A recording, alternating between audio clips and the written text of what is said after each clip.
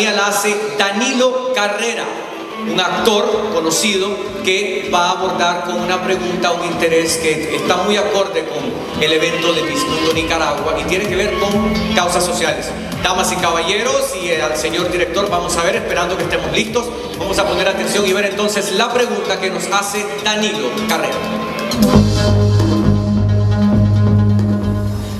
Buenas noches Nicaragua, les saludo a Danilo Carrera desde los estudios del Gordo de la Flaca aquí en Miami. Primero que todo felicitar a las finalistas y mi pregunta para ti es la siguiente, si fueras elegida Miss Mundo Nicaragua 2015, ¿qué te gustaría que el mundo supiera de tu país? Muy buenas noches. Si hay algo que me encantaría que la gente supiera fuera del país, es que nuestra tierra está hecha de vigor y de gloria, como decía Rubén Darío. Que esta gente, que todos nosotros tenemos un potencial que aún no nos hemos dedicado a descubrir.